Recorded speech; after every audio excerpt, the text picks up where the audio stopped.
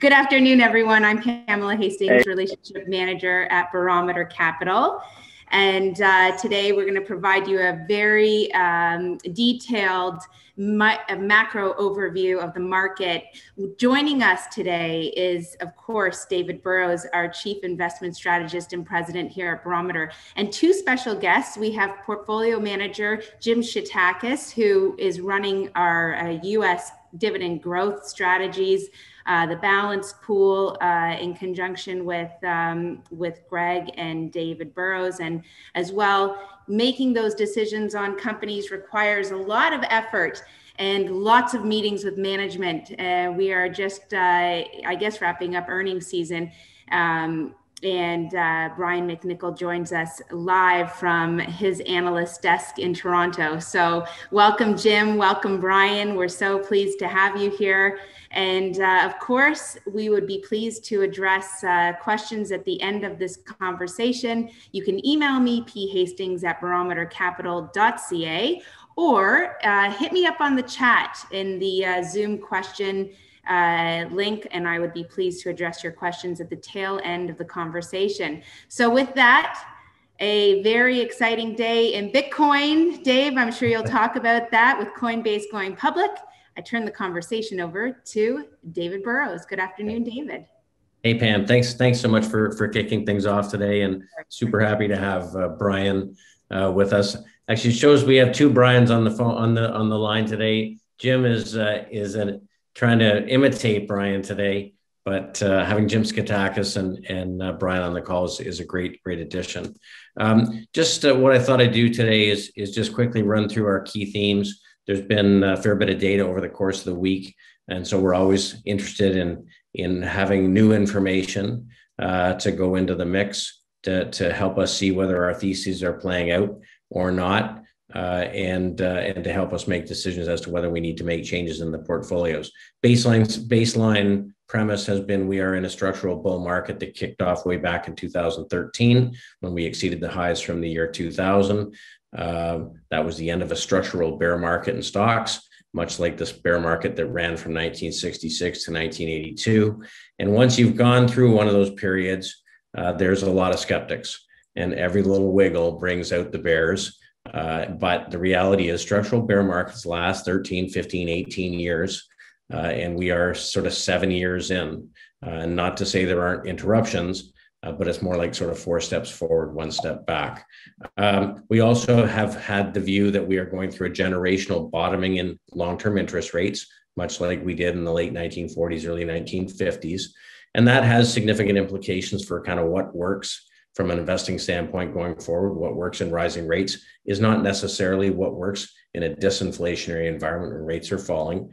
Uh, so we've been positioning for that. Uh, and we've also had a view that we were going through a structural bottom in the commodity market that again had significant implications for various markets uh, and various sectors uh, and, uh, and positioning, of course, as well. So the beat goes on in equities. US equities have slowly been working their way higher since 2013. We are sort of at the top end of the channel.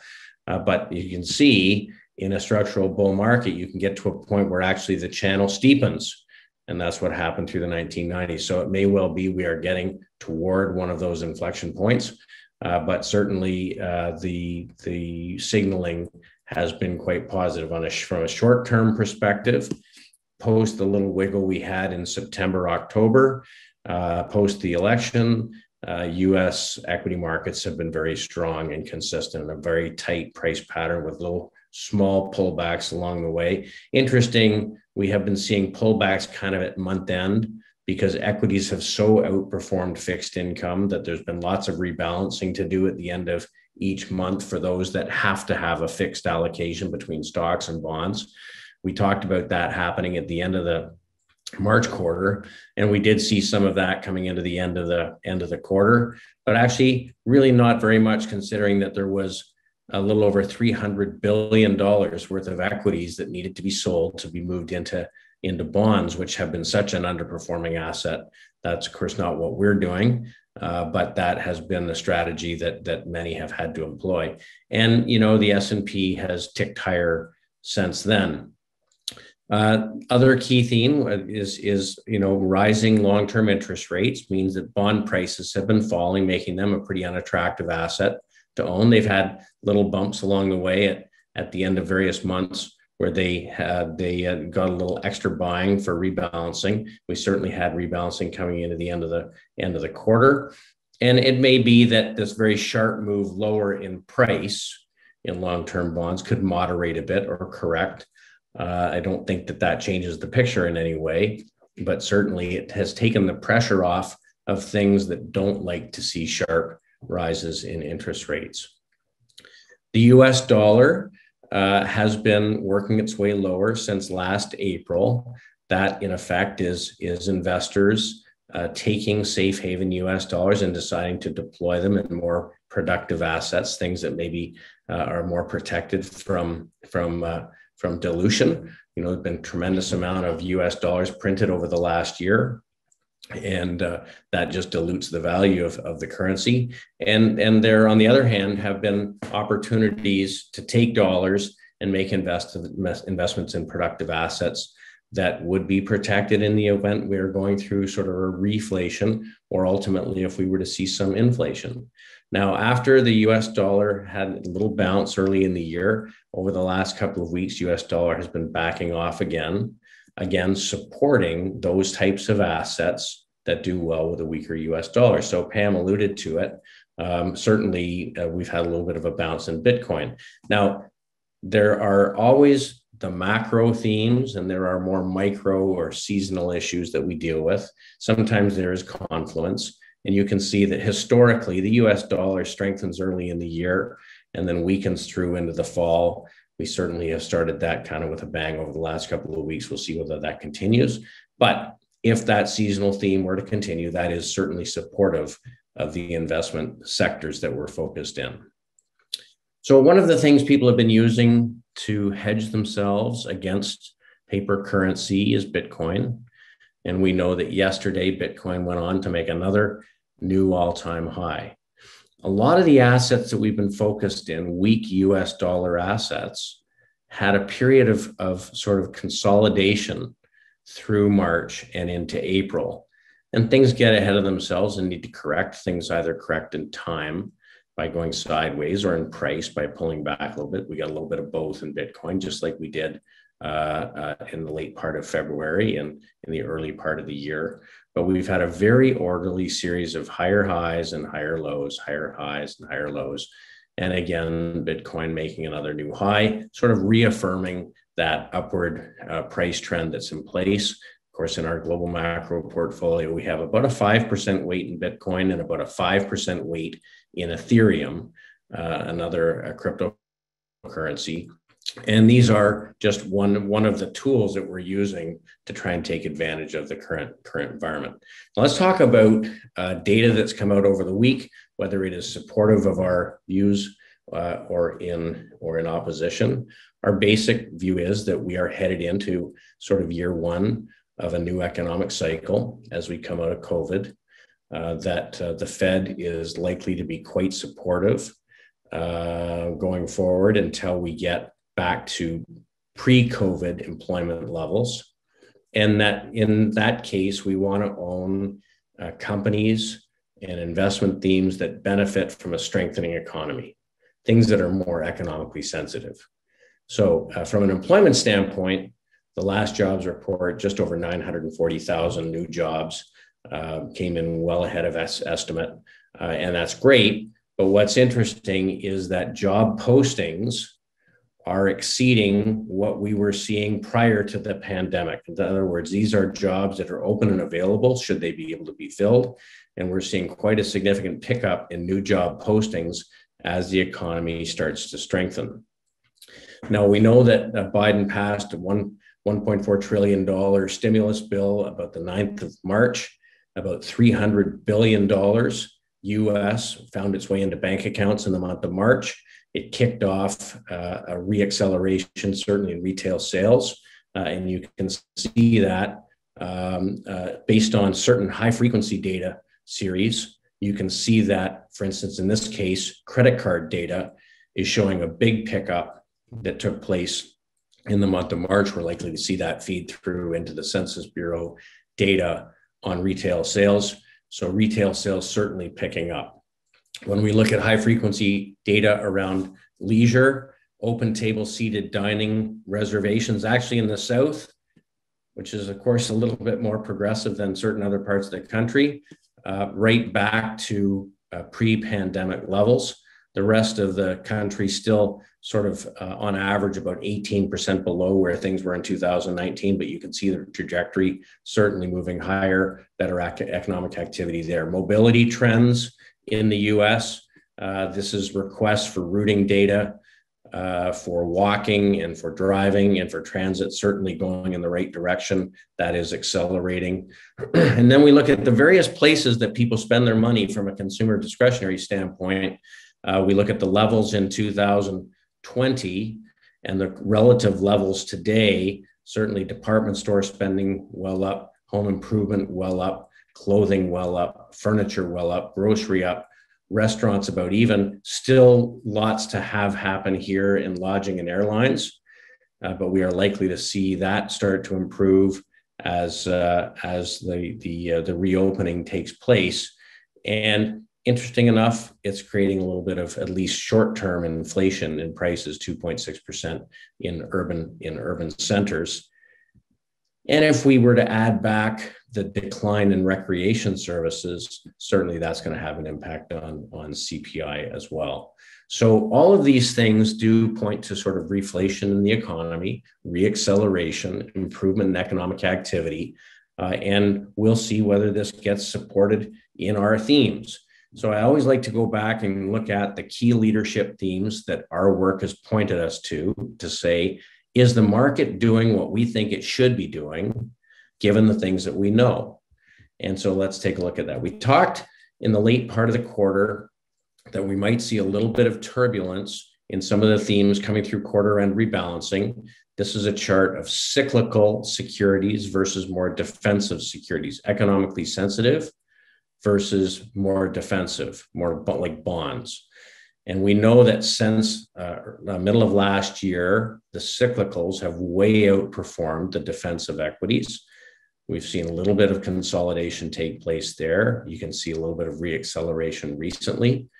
And similarly, you know, plotted against the rise in the yield of the 10-year bond. So let's look at those themes. In general, value this is an ETF that looks at the value securities within the S&P 500, more economically sensitive, have been outperforming the S&P. You can see pulled back a little bit through the middle of March and making a turn higher. Now, probably uh, the, the poster child for value, which is um, uh, securities that have a lower multiple, uh, are more economically sensitive and probably less well owned is the financials.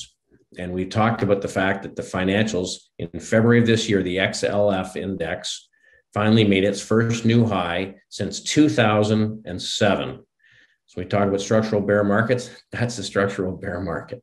Uh, 14 years without making a new high. Of course, did make a new high, pulled back a little bit in the late part of April, sorry, March, but now moving to the upside. And a big part of the financial sector the banks.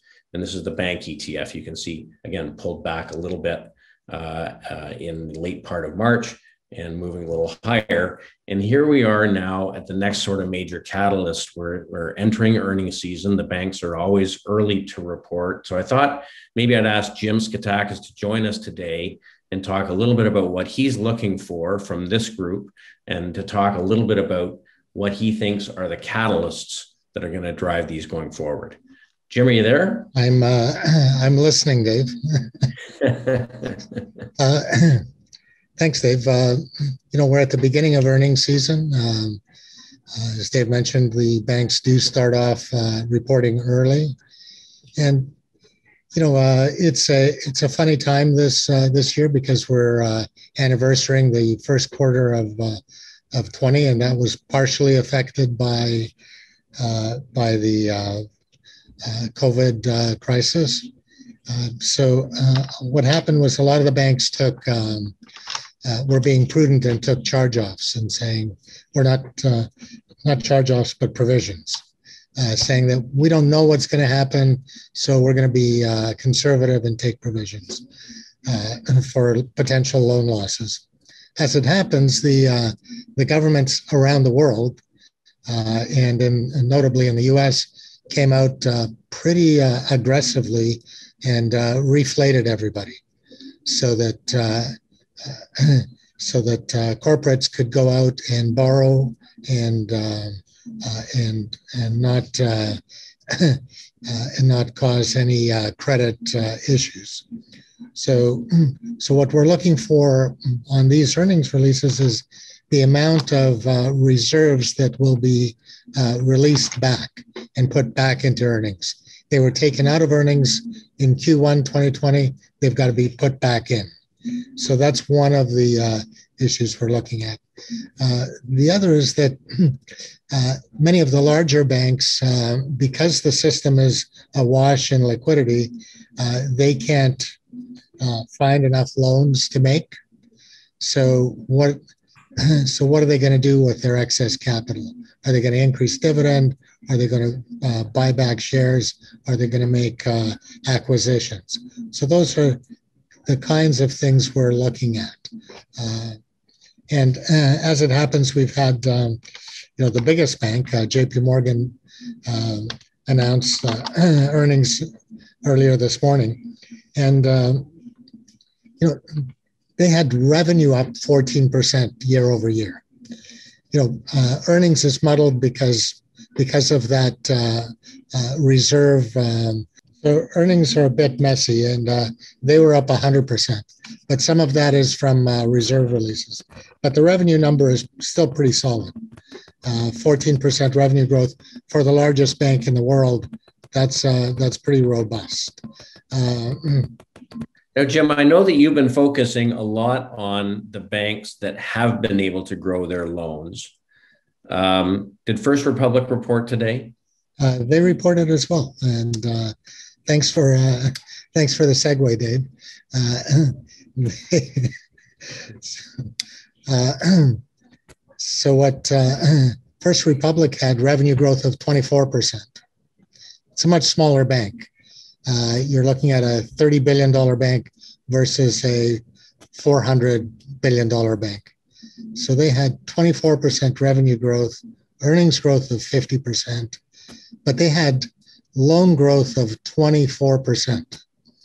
Uh, JP Morgan had loan growth of minus 4%. So, uh, First Republic has something to do with their capital other than give it back to us, which is so it's good to have a mix of both. So it's uh, and it's it's responsible stewardship that we're looking for from JP Morgan to say, okay, we can't make the loans, so we're going to give you back some of the capital. And from First Republic, uh, in, in essence, what we're doing is taking the, the buybacks from JP Morgan and First Republic comes to us every year for more capital because they're making more loans. Yeah. Uh, with a um, an ROE of uh, 14%, it's a great business. Right. Um, so we're excited about having uh, companies like that on our uh, uh, in our portfolio that that's very similar to Silicon Valley Bank Corp. I know in the, in in the same way. It's it's interesting always when you when you look at uh, a sector that's been out of favor for a long period of time. Invariably, there are two or three companies that have figured out how to grow while other people aren't. And in general, those are the ones that that that double first, and and those are the ones that kind of double again uh, just as quickly afterwards. So so this is sort of where we've had our our, our bigger bigger focuses. Jim thanks thanks thanks so much. Um, let's let's keep checking on in in on these themes. Uh, after a little pullback uh, in late part of the quarter this is the commo- this is a commodities etf started to make a nice turn as us dollar started to back off broken this little little downtrend. Uh, and so in various areas different results. These are the big big miners uh, had made a very quick turn. A lot of the big miners today, Freeport, McMoRan, uh, I know it by about 3:30 was up a little over seven percent on the day. Um, uh, Rio Tinto was up a little over three percent Uh, First Quantum, I think, was up about six and a half percent. So they look to be reaccelerating. The forest products companies, certainly lumber prices continue to firm up with the housing market being strong, uh, just chugging right on to new highs. Uh, the agriculture sector, you know, trading at trading at new highs. Uh, and after a, a pretty good sized pullback late part of March, when uh, when uh, the energy producers ran into resistance, they've started to make a turn in the last couple of days. So that certainly had a little impact on us in the last month. We do have uh, about uh, did have about a 10% weight in energy, and that certainly pulled things back a little bit. But again, if the whole complex in commodities is working its way higher, highly likely that the uh, energy producers follow along suit. Um, industrials really haven't missed a beat. Uh, they've been they've been led by the transport stocks. We've all heard about backups in logistics systems trying to get goods to market. Certainly, the backup in Suez Canal didn't didn't uh, didn't help. Uh, but this is a key bellwether sector that we watch for expectations on future growth in the economy. You got to move the stuff, uh, and the transport stocks are doing exactly what you would expect. Uh, and the consumer discretionary sector, after a little consolidation through late part of February, early March again in the last seven or eight days has taken out the highs. And that's that's a combination of areas. That's that's a combination of retail certainly online retail a combination of some leisure companies.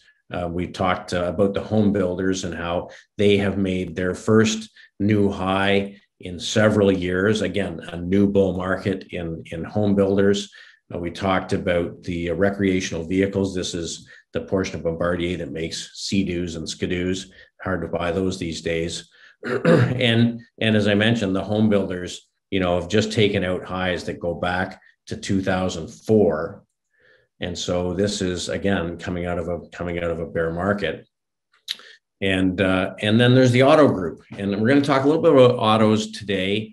Uh, we do have uh, a couple of positions in the large uh, manufacturers which have been performing quite well. But certainly it's not been lost on the parts companies and the subassembly companies that demand is strong. In the third week of March, uh, the industry reported 17.7 million car annual uh, rate of uh, manufacturing. That's the best uh, level we've seen since 2017. So certainly the consumer is in gear.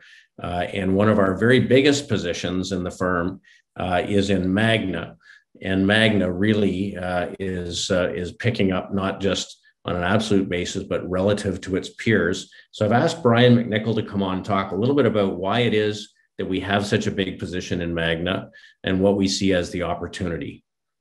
Brian? Yeah, perfect. Thanks, Dave.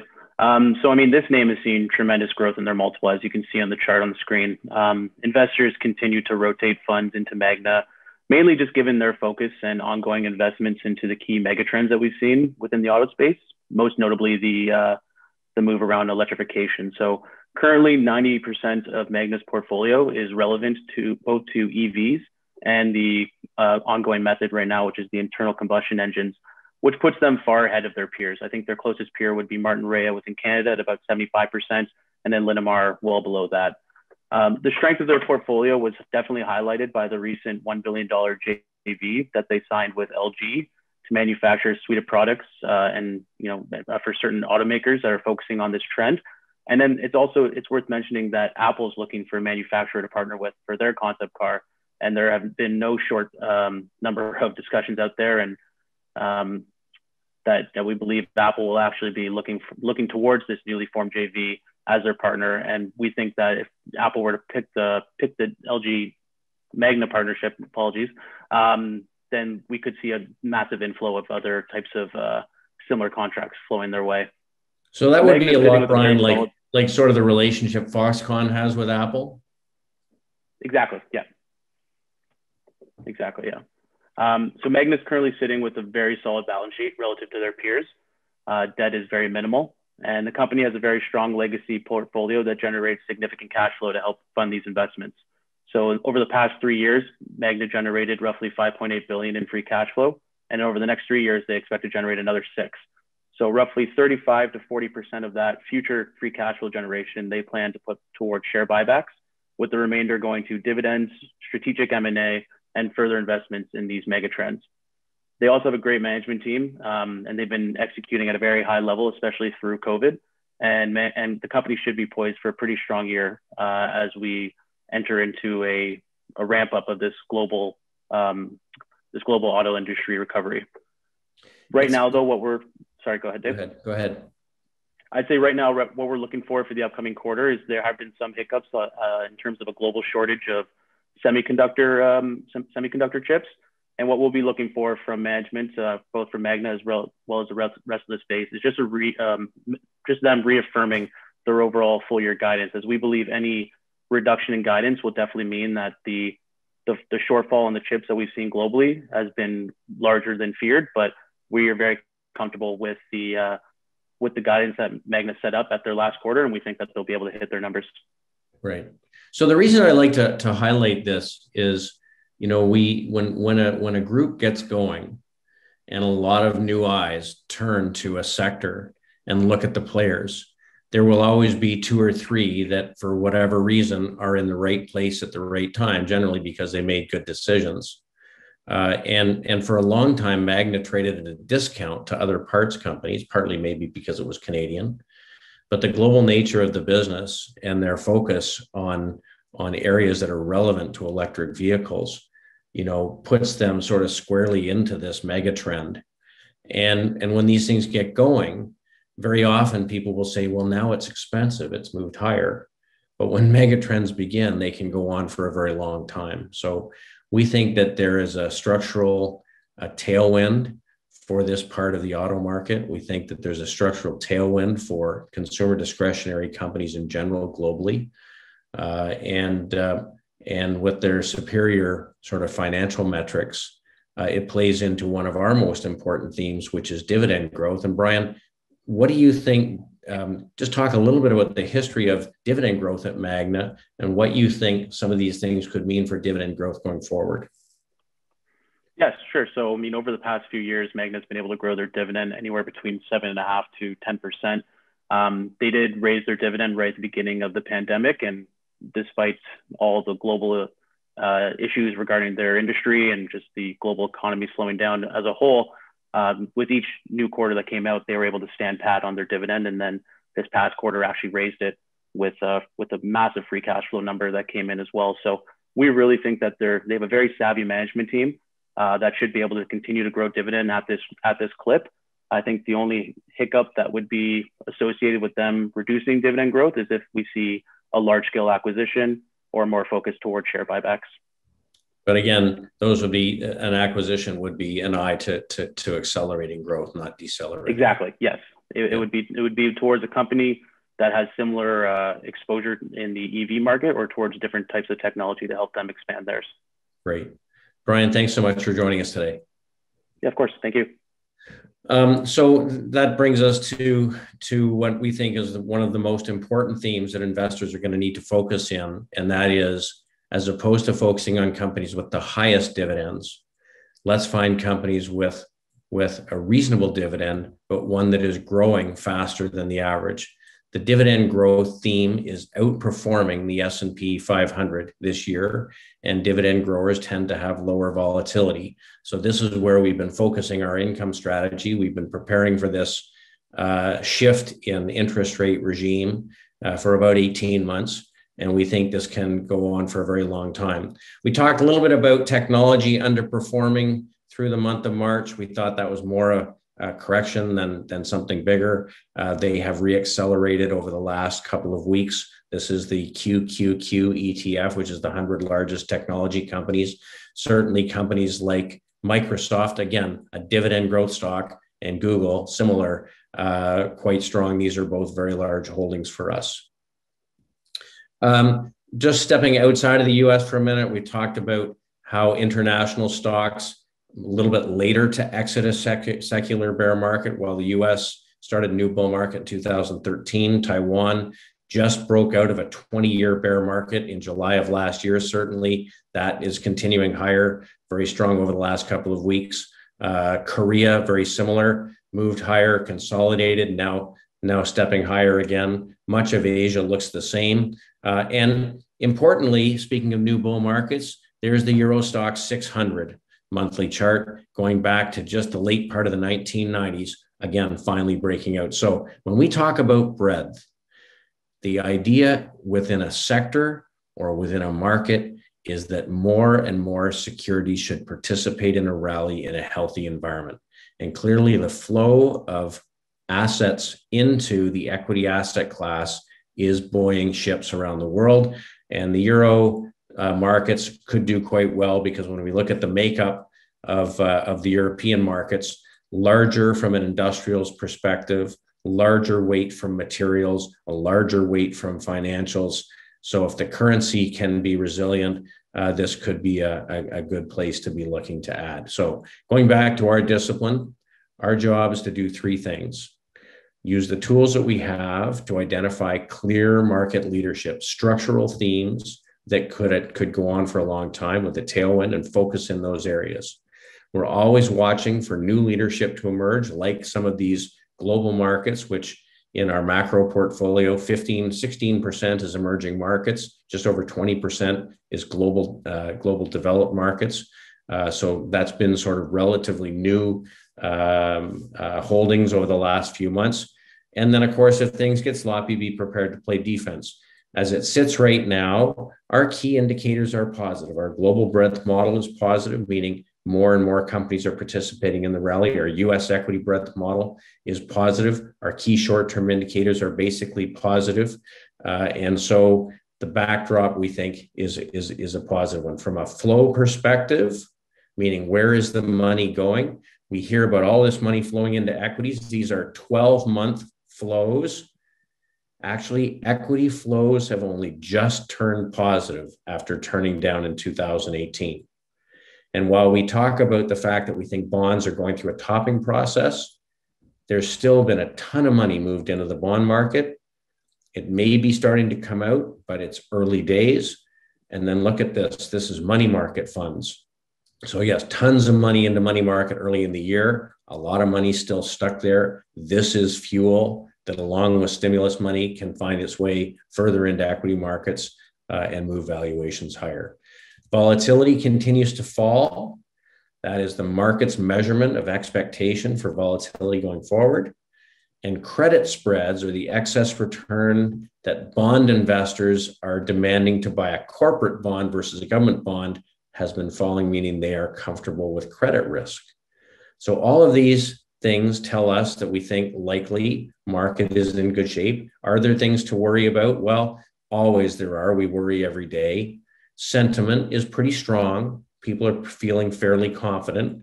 We have to keep an eye on that. We are in the quiet period before earnings releases, which means that share buybacks by big corporations are now on the sidelines until they report their earnings. But we're going to get a lot of news over the next couple of weeks, and that's going to help us again to reassess our key themes to make sure that what we think should be happening is happening what I know is that since November, when this these themes really got going, the bond market has not been a place to be, and we have virtually no bond exposure. The S&P 500 has been working its way higher, but there has been dispersion in the returns from various groups. The bond proxies, things that act like bonds, have way underperformed, and the things that are more economically sensitive done better. So VIS is an industrials ETF. PICK is a mining ETF. FXD is a consumer discretionary ETF. XLF is the financials ETF. And while the energy stocks have certainly pulled back over the last couple of months, uh, that's a correction in a move higher, I believe, and they are outperforming. So we want to have weight there. So, from a weightings perspective, financials are our biggest weight, moving a little bit higher this week over a month ago well out uh, uh, in in uh, excess of the S&P financials weight. Industrials are our next biggest weight. Technology we bumped up as technology started to do a little better in the last couple of weeks. Energy is a large weight. Materials are a large weight. Consumer discretionary and considerably underweight the various bond proxies. So unless we see changes to our themes, this is likely where we remain in the short run. We watch every day for signs of, of trouble. And should that take place, you know, we certainly will not hesitate to get defensive. Historically, in big market sell-offs, we've been pretty good at playing defense versus what's happened in the market. But at this point, I don't think that that is sort of in the cards. So with that, Pamela, if there's any questions, certainly happy to take them. Thanks so much, Dave. Um, this question comes from Paul in Toronto. In your past presentations, David, you indicated the portfolios were reducing large cap tech. Are you investing again given the pullback? Great question. So if you if we go back to that screen, you can see that as of a month ago, we were down at 7%. Now, if you if you've been on these calls, you'll know that through much of last year, we were over 30% technology. So through the early part of this year, we reduced our weight and we did take the weight back up. We're still at a significant underweight position because we think that the technology companies in general, and this is generalizing, are less economically sensitive than, say, the industrials or materials or consumer discretionary companies. There are some certainly that are more economically sensitive, like the semiconductor manufacturers. We own Micron Technologies. Uh, and and when we look at spending expectations for this upcoming year, we just went through a survey that showed CEOs expect to spend 4% more this year uh, on, uh, on technology than they did last year, focusing in software. So, you know, Microsoft should be a beneficiary there. Google should be a beneficiary there in their cloud business.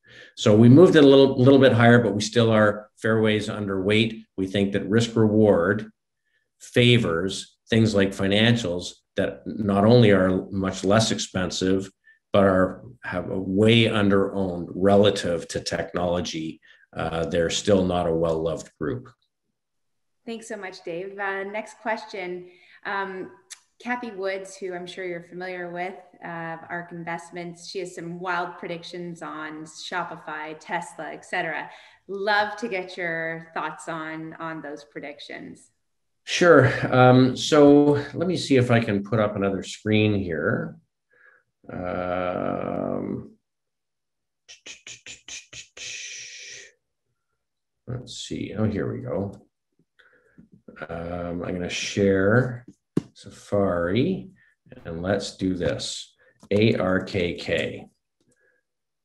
So, um, Pam, can you see my screen okay? Yes, I can, Dave. Thank okay. You. So this is an ETF that is run by uh, uh, Cathie Woods and the folks at ARK that invests in the highest growth uh, mid-sized technology companies. It's the ARK Innovation ETF. Uh, and you know you can see why we may have wanted to reduce some weighting in technology. This ETF fell from $160 to $110 over the course of two weeks. So this is made up of largely companies that have less revenue and certainly very little earnings, but lots of future promise. And so, you know, they're trying to kind of make a bottom here in the short run. Uh, but uh, companies that have very high multiples, meaning that you're paying for the future way out, um, can be more susceptible to higher rates and so uh, this is a group that has pulled back quite substantially. But certainly getting a little better over the last week. Well, that's great, Dave. Um, you know, we did have a question, and it's fairly detailed, the answer I would expect, because um, obviously our investors, when we meet with them, we, we tailor strategy specific to their individual solution. So, but we did have a question, if you could briefly walk through um, our pool offerings, what we offer to investors. When you mentioned the income pool. Sure. Um, maybe you could just briefly talk to our investors and prospective investors about the different types of pools that we offer and like how you sure. would so, so historically speaking, Pam, as you know, we we ran separately managed accounts for each client where we built a mandate uh, and set up a portfolio of, of, of single stock holdings uh, 20 to 40 positions, and we still run a lot of our client portfolios that way. Along the way, we found uh, some efficiencies in running a pool that would be shared by a number of investors, like a fund. Uh, and so we run five pools, uh, each one with a different um, different purpose. So, of course, we run a go anywhere equity pool. We try to keep our mandates as flexible as possible because, as you know, leadership in the market changes. And so, our equity portfolio can be anywhere geographically, it can be any mix of uh, industries and various weights. It can hold an unlimited cash weight uh, in the event that we get into a tough market, which is what's helped us defend ourselves in some some long term bear markets. Um, but it's 20 to 40 positions. Um, we we complement that with an income portfolio, and the income portfolio can be in any kind of income security. And there have been times when it's been focused in bonds. Uh, it's been corporate bonds, been preferred shares, a mix of, of those along with cash um, and dividend paying common shares, which is where we are focused today because we think that the bond market does not pose uh, very good risk reward. You know, the, the TLT, the 30 year US bond, fell from $179 to $135. And yes, you get your 1% coupon, but that's that's that's not much solace. So we have very little by way of fixed income exposure there, but that's a, meant to be a conservative income producing portfolio. We run a balanced portfolio, which is a mix of equities and bonds, uh, which will always have a minimum of 25% fixed income. Uh, we have a long short portfolio, which is largely equities and largely smaller and mid sized companies. And we can be long uh, the companies that we want to be invested in, or we can take advantage of what we think are weak companies by short selling them. Uh, we don't tend to have a lot of shorts uh, in those portfolios during a bull market because it's tough to make money shorting in a bull market.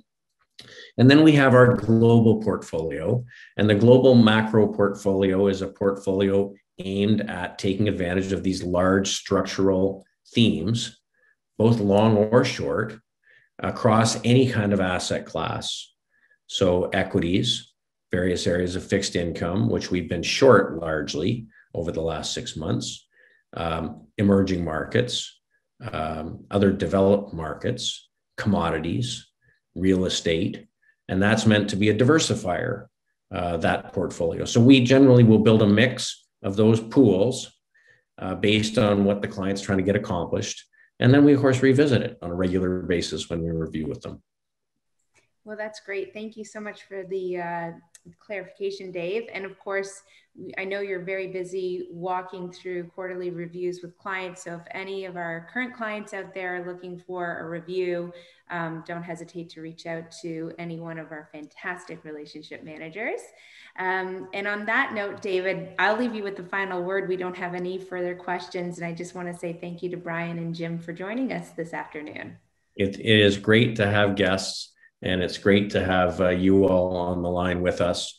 Um, as a reminder, we send this out as a recorded uh, uh, call tomorrow. Uh, and if you have any questions that you'd like us to, to answer or tackle in a future webcast, please send them in to us. If you'd like to have a conversation uh, about um, uh, further on any of the topics that we've been talking about, I'm certainly happy to jump on the line at any given point in time, and our counselors would love to talk to you as well. So, thanks very much for sharing uh, 40 minutes with us. And we look forward to seeing a lot of you again next week. Have a good week.